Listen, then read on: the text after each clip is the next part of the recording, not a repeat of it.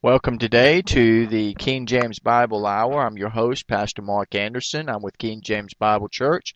We are located at 920 Tram Road, Mount Olive, North Carolina. We are so glad to have you join us today. We would like to invite you, if you do not have a church home, especially if you do not have a church home that is preaching the word of truth contained in the King James Bible, we want to invite you to come out and join us. We have Sunday school on Sunday mornings at 10 a.m., uh, followed by a worship hour at 11 a.m., and we also have Sunday night worship at 6 p.m., as well as a Tuesday night Bible study at 6 p.m. So if you don't have a church home, we invite you to come out and join us for a time of worship and study of God's Word.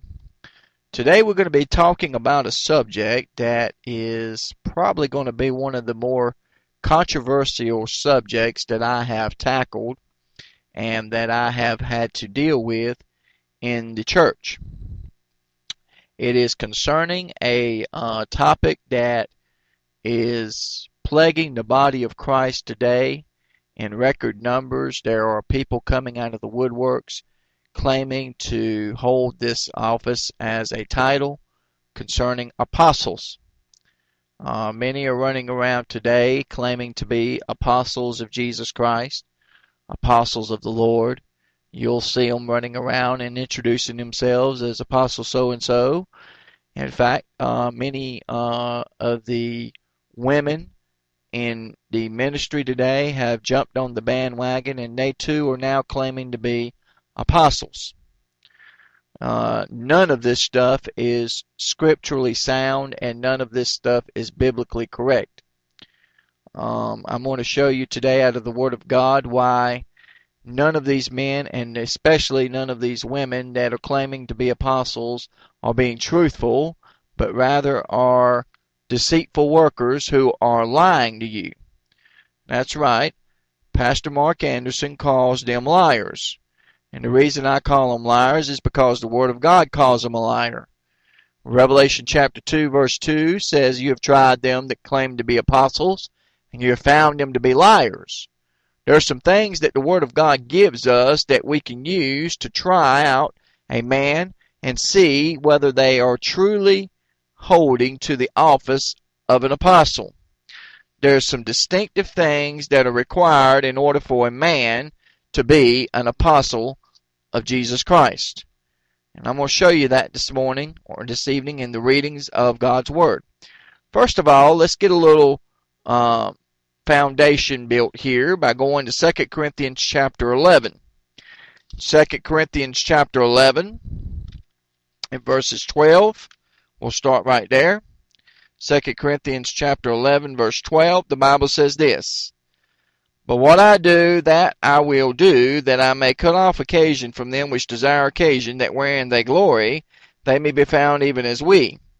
For such are false apostles, deceitful workers, transforming themselves into the apostles of Christ. And no marvel, for Satan himself is transformed into an angel of light. Therefore it is no great thing if his ministers also be transformed as ministers of righteousness whose end shall be according to their works. Now, in this passage here, Paul lets us know that there is coming a time when these false apostles and deceitful workers, they are able to transform themselves into the apostles of Christ. They'll say all the right words. They'll say all the right, the right lingo to make you think that they are who they claim to be. But Paul warns us a very clearly in this passage that Satan himself is able to transform himself into an angel of light. And why should it be any surprise then that his ministers, and they are Satan's ministers, every single one of them, from the first to the last, that claims to be an apostle, claims to be something that God never called them to be, are ministers of Satan. They are deceived themselves, and they are running around deceiving other people in the body of Christ, and the poor beguiling souls that are being deceived haven't picked up a King James Bible in 40 years, so they have no clue what's going on around them, much less realizing what Satan is doing in their midst.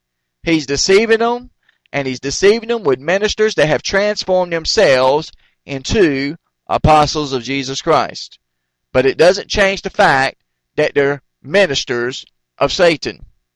And I'm here today as a minister of righteousness to expose this heresy and expose this false doctrine that is filtrating into the body of Christ and doing more damage to the Christians than uh, many other doctrines that are running around under the guise of Christianity.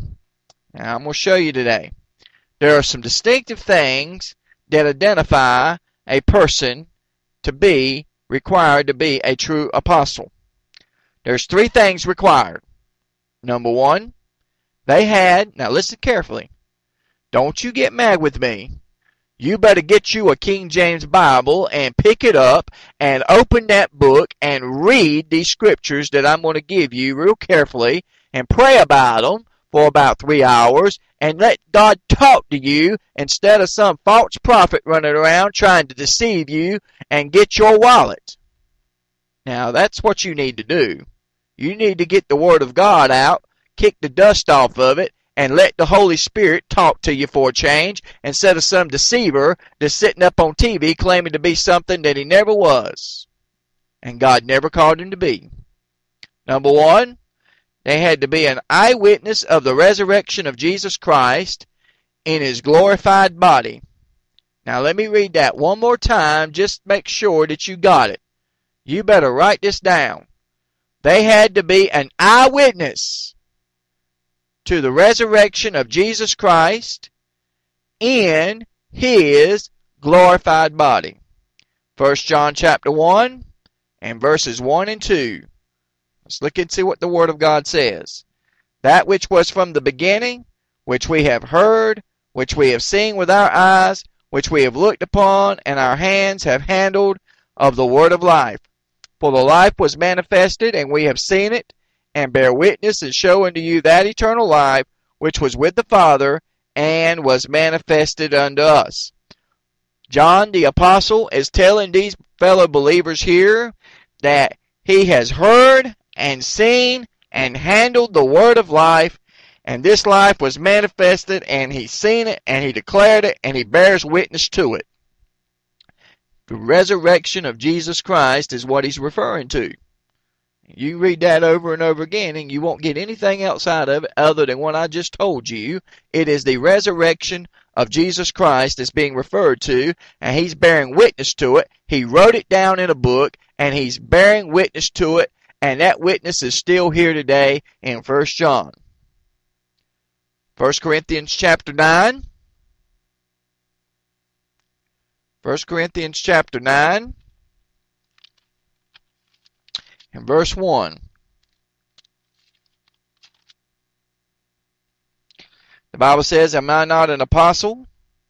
Am I not free? Have I not seen Jesus Christ our Lord? Are not ye my work in the Lord?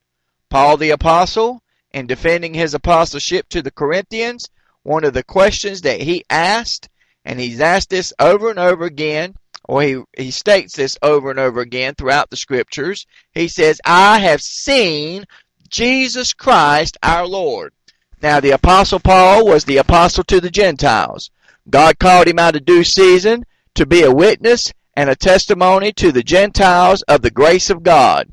He saw Jesus Christ on the road to Damascus. You'll find that in Acts chapter 9 and reiterated in Acts chapter 22.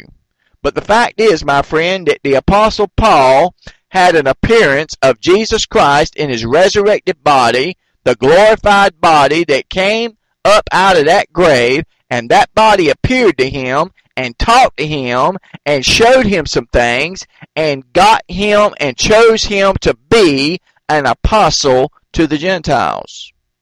Now that's why he says, Have I not seen Jesus Christ our Lord? Why, these lying deceivers today, they couldn't tell you when they've seen Jesus Christ their Lord. If they're honest, they'll tell you that they've never seen him.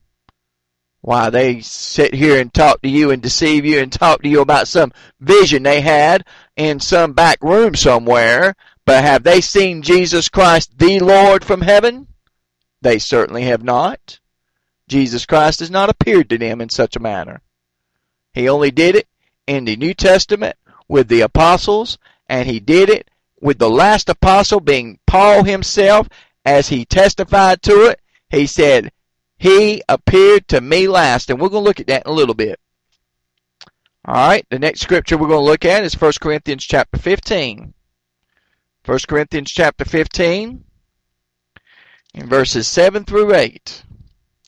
The Bible says, And after that he was seen of James, then of all the apostles. And look at verse 8. And last of all, you better underline that, my friend. Last of all, he was seen of me also, as of one born out of due time. For I am the least of the apostles, that am not meet to be called an apostle, because I persecuted the church of God.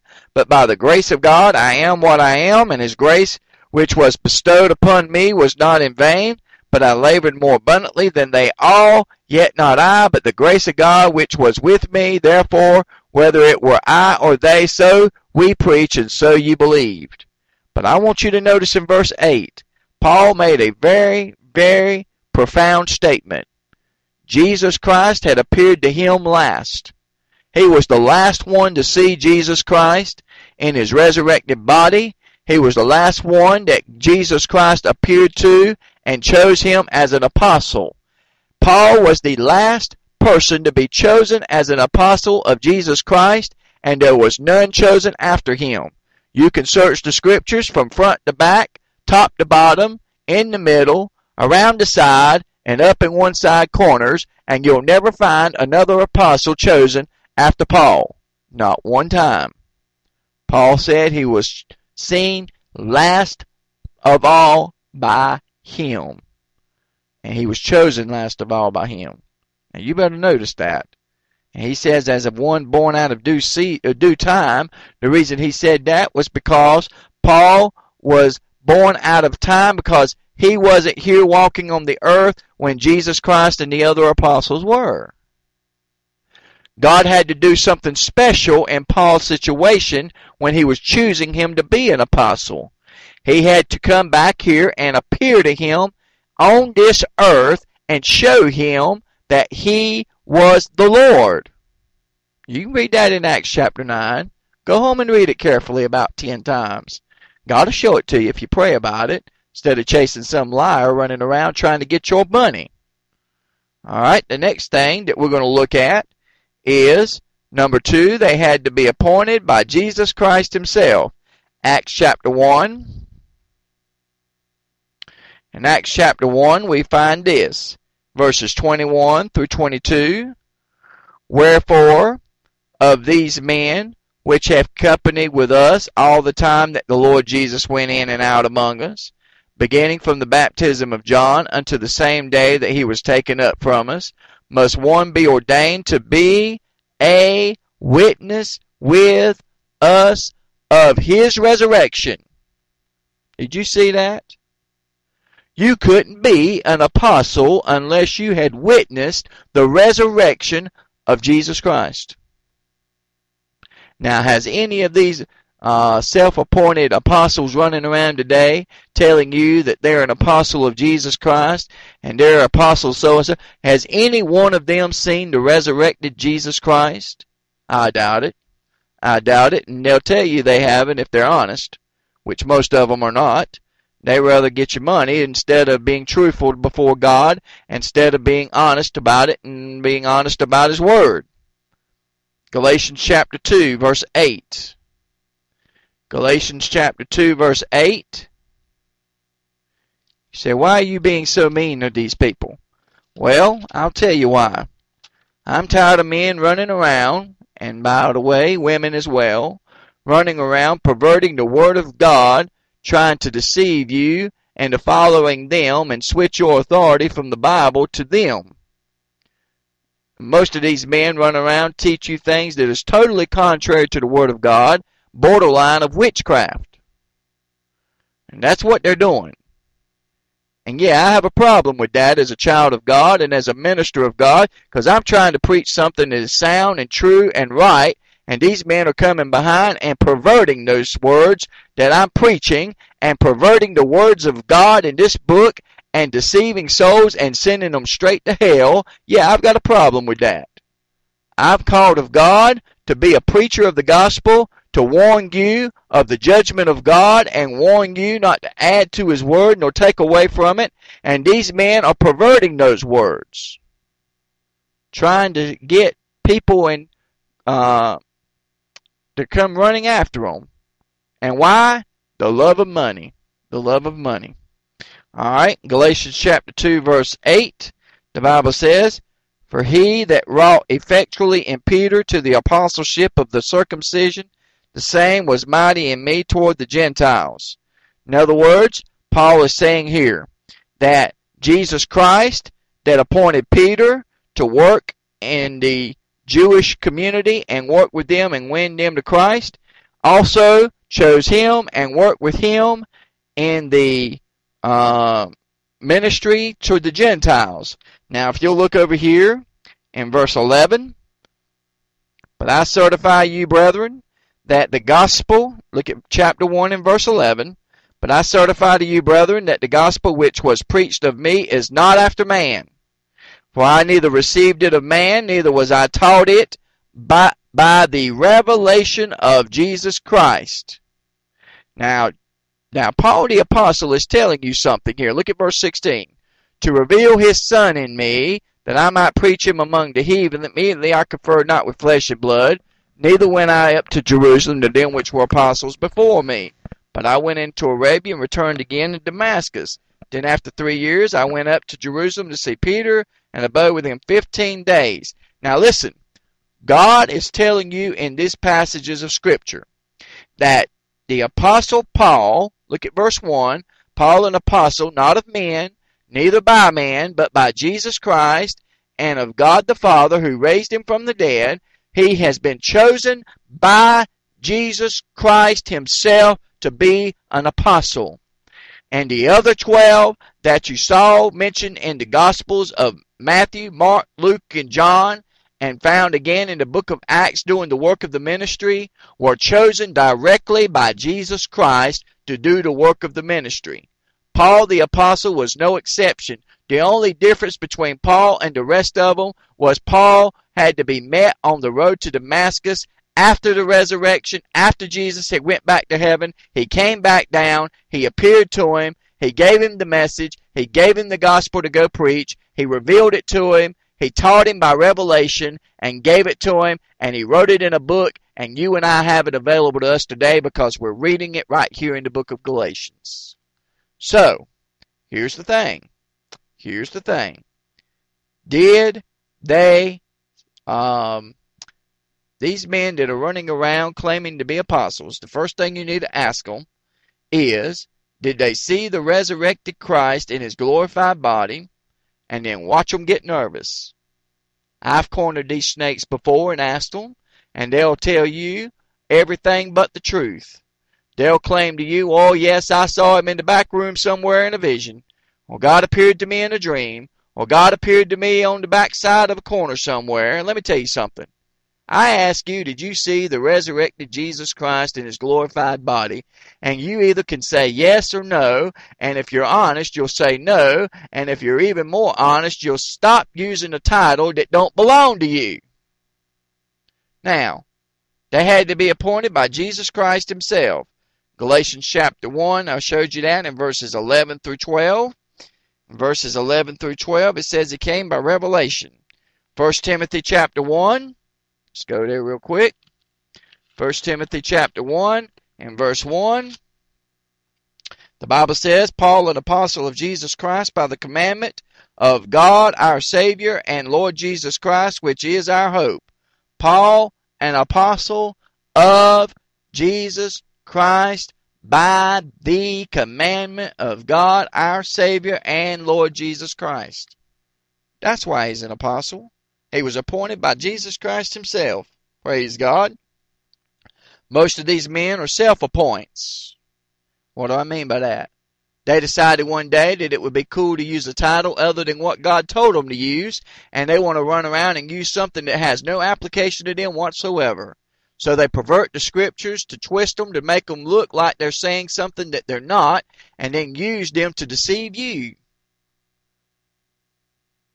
And uh, not one of these men, if they're honest, will be able to say that Jesus appeared and chose him to be an apostle. That's if they're honest. Number three, watch this. They had to be able to demonstrate the signs of an apostle. All right. Second Corinthians chapter 12. It gets even better. God narrows it right on down to where you couldn't miss it if you tried. Second Corinthians chapter 12 verse 12.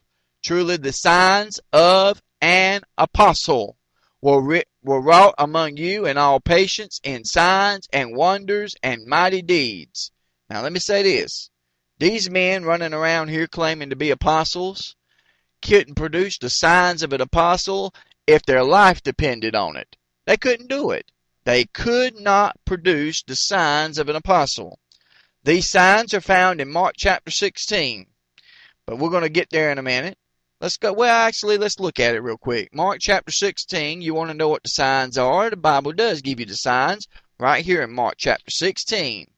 And this is another one of those passages that the charismatics have perverted and tried to make it make you think that these are signs that follow everybody that is born again. Now here's what it says. Mark chapter 16, verse 17. And these signs shall follow them that believe, in my name shall they cast out devils, they shall speak with new tongues, they shall take up serpents, and if they drink any deadly thing, it shall not hurt them, they shall lay hands on the sick, and they shall recover. So then after the Lord had spoken unto them, who's the them?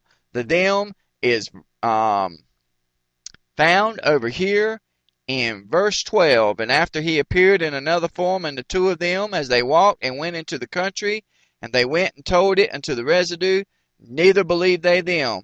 Afterward he appeared to the eleven as they sat at meat, and upbraided them with their unbelief and hardness of heart, because they believed not them which had seen him after he was risen. He said unto them, Go into all the world, and preach the gospel unto every creature. He that believeth and is baptized shall be saved. He that believeth not shall be damned. And these signs shall follow them, a specific group of people that he's referring to here, and it's the apostles. He said, These signs shall follow them that believe. In my name they shall cast out devils. They shall speak with new tongues. They shall take up serpents. If they drink any deadly thing, it shall not hurt them. They shall lay hands on the sick, and they shall recover. Then, after the Lord had spoken unto them, that's the apostles, he was received up into heaven and sat down on the right hand of God. And they, that's the apostles, went forth and preached everywhere, the Lord working with them, that's the apostles, and confirming the word with signs following. Now that took place in the book of Acts. And if you'll go to the book of Acts, you'll notice that the book of Acts is called the Acts of the Apostles. The Acts of the Apostles. Most of your Bibles have that at the very beginning as the title of the book. The Acts of the Apostles. Okay?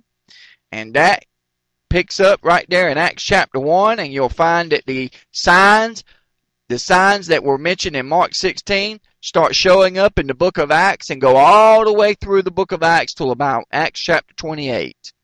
All right? Now, let's move on a little further. Let's go to 2 Corinthians chapter 11 verse 12. 2 Corinthians chapter 11. 2 Corinthians chapter 11 and verse 12. Here's another one. Wherefore, because I love you not, God knoweth, look at verse 12, but what I do, that I will do, that I may cut off occasion from them which desire occasion, that wherein they glory they may be found even as we.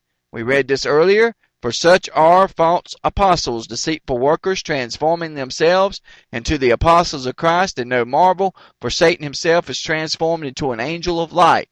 Therefore it is no great thing if his ministers also be transformed as the ministers of righteousness, whose end shall be according to their works. In Revelation chapter 2, Revelation chapter 2, and verse 2 and 3, Here's what the Bible says. I know thy works and thy labor and thy patience and how thou canst not bear with them which are evil, and thou hast tried them which say, notice the word, they are apostles and are not, and has found them liars, and has borne and has patience, and for my name's sake has labored and has not fainted. These men were able to try these men to determine whether they were really apostles or not. And the way they did it was they took the scriptures and looked at what they were doing and compared it to the scriptures, and if it didn't line up, they cast them out and called them liars. Now, ask these modern self-appoints to go with you to the local hospital and clean out the cancer wards, and go to the burn units and demonstrate the apostolic signs. They will run like a fox with his tail on fire. You know why? Because they couldn't produce an apostolic sign if their life depended on it. And I make no apologies for that. It's the truth. These men are running around claiming to be something and don't even have the signs to back them up. Never mind something that they claimed that they did in the back room somewhere where nobody was watching.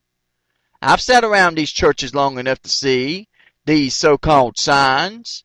The only thing they can produce is a bunch of people in the altar claiming to be talking in tongues, and when you record the messages that they're claiming to be speaking, there ain't no language in the world that can be identified with it. Ain't that something? And besides that, they're doing that out of order, according to 1 Corinthians chapter 14. Now, their writings, talking about the apostles, were considered authoritative and accepted as scriptures which were included in the final canon. This is in addition to the three things that are required to be an apostle. The fourth thing is they were their writings were considered authoritative and accepted as scriptures, which were included in the final canon. They were able to write under the inspiration of the Holy Ghost, and as a result, these writings were scriptures. Now, can these men do that today?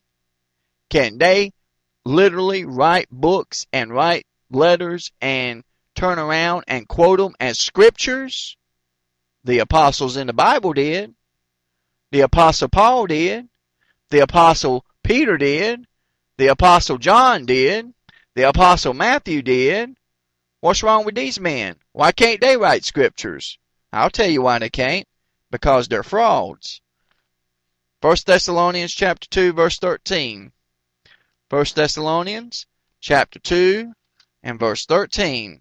The Bible says, For this cause also thank we God without ceasing, because when you received the word of God which ye heard of us, you received it not as the word of men, but as is in truth, as it is in truth the word of God, which effectually worketh also in you that believe.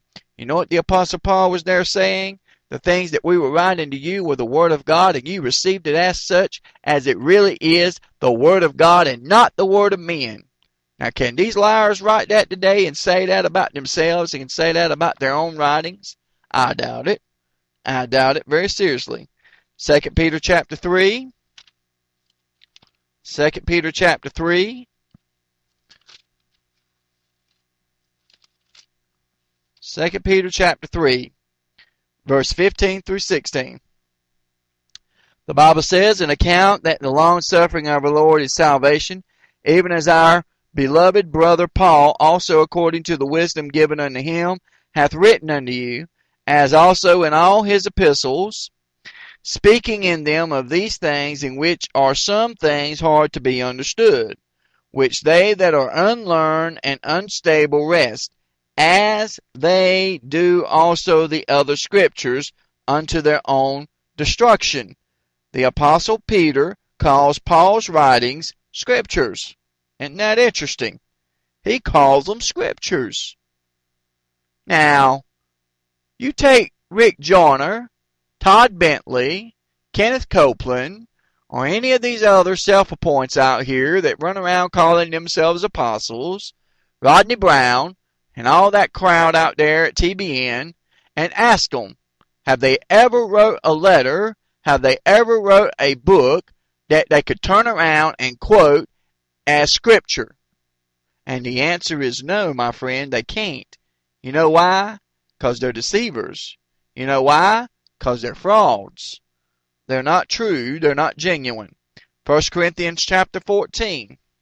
1 Corinthians chapter 14. 1 Corinthians chapter 14 verse 37. The Bible says, If any man think himself to be a prophet or a spiritual, let him acknowledge that the things that I write. Have you wrote anything lately, Uncle Todd? Have you wrote anything lately, Dr. Rick? And turned around and said that it was the scriptures? I doubt it. And even if you did, you'd be a liar, and God would call you a liar as well as this preacher right now calling you a liar. I write unto you are the commandments of the Lord. Now, that's what Paul said, and you're not on the same level as Paul. You know why? Because he was an apostle and you're not. Praise the Lord. Now let's move right along. Ask the make believe apostle which book in the Bible did they write? Sorry, we're not in today. Leave a message. We'll get back to you next week. the apostles had no successors to replace them. That's very important. There is one exception to this, and that was the replacement of Judas Iscariot in Acts chapter 1, verses 15 through 26. Matthias was a temporary replacement chosen by the eleven by casting lots until Paul the apostle converted to the faith. Paul, not Matthias, was chosen by the Lord himself to replace Judas Iscariot permanently. You'll find that in Acts chapter 9, verses 15 through 16, 1 Corinthians 15, uh, verse 8. And note two things here in this passage. He says he was the last. I want to emphasize that, folks, because people read that every day and miss it. He said he was the last one to see the risen Christ and that he was born out of due time. This is the only time a replacement is recorded in the scriptures. When James is martyred for the faith, there is no replacement given for him in Acts chapter 12, verse 2. But these false apostles didn't even bother looking at the passage or looking at the book of Acts to see that that was the case. And if they had been pointed it out, they wouldn't care anyway. Because they've got some other lame excuse on why they can still run around and claim to be what they're not. The term 12 does not occur in the book of Acts after this event, to refer to the apostles, showing again there was no replacement. Apostolic succession is a Roman Catholic invention, and a form of this is now being taught by the modern charismatic movement when it comes to apostles being in office in the church today. I want you to note one more thing. Jude 17. Let's look at it. Jude 17. In Jude 17, we read the following thing. Verse 17, But beloved, remember ye the words which were spoken before of the apostles of our Lord Jesus Christ. Jude, notice how Jude refers to the apostles in the past tense and not in the present tense.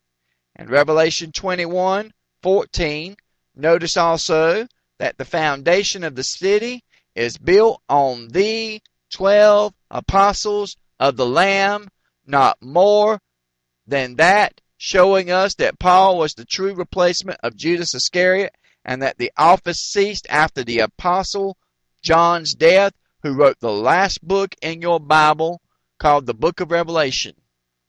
Now you better note that and pay attention to the little details that mean a lot in the scriptures. These men as far as Jude was concerned, were a past tense situation.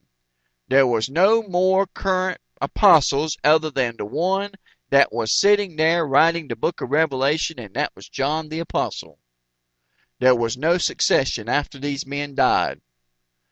And only the succession that you'll find is found later in the Roman Catholic hierarchy when they developed a church system that was counterfeit to the true church that Jesus Christ founded. And one more final thing that I want you to notice about the apostles in the New Testament compared to these make believes that are running around today. Not one case. You can go from Genesis to Revelation. You can go from top to bottom, front to back, Hebrew, Greek, and Aramaic, as well as the English text of the King James Bible.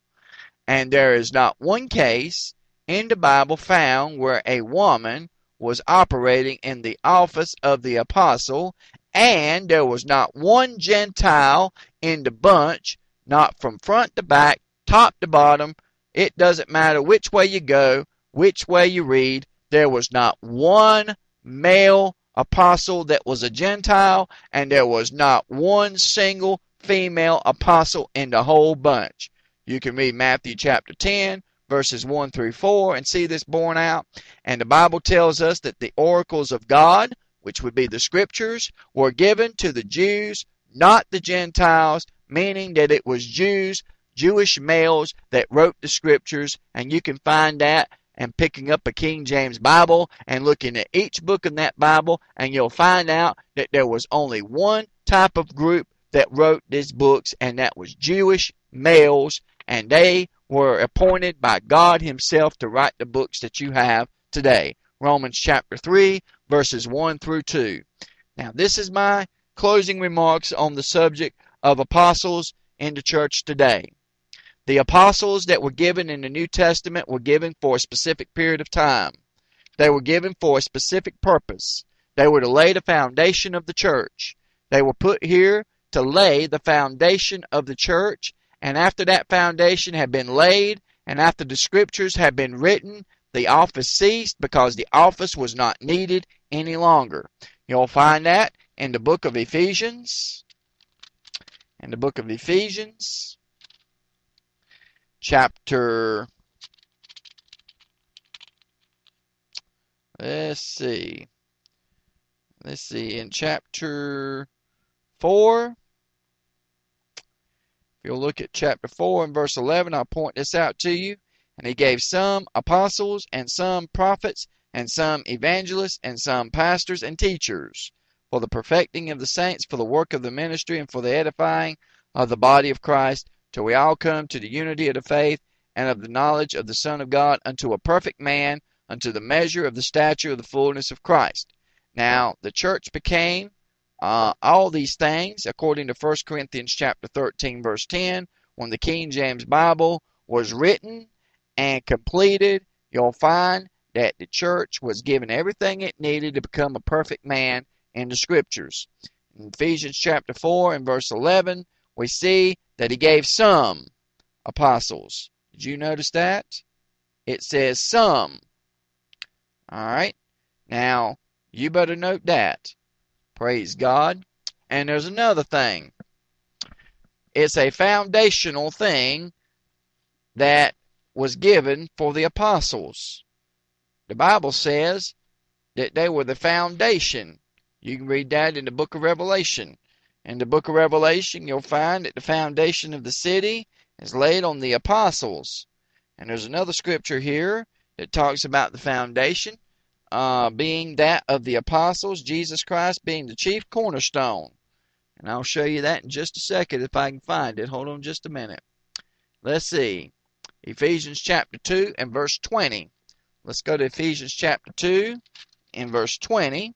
And the Bible says this Now, you are built upon the foundation of the apostles and prophets Jesus Christ himself being the chief cornerstone, in whom all the building fitly framed together groweth into a holy temple in the Lord, in whom ye also are built together for a habitation of God through the Spirit. So now the apostles were the foundation. That was their purpose. They built the foundation of the church, and once that foundation was built, there was no longer needed this office in the church. They gave us the foundation through the Holy Scriptures. Once the canon of the Scriptures was closed, the office of the apostle ceased, as well as did the office of the prophet, because these things were no longer needed because we have a perfect book now called the Bible. And this is our guide, and this is what God the Spirit points to.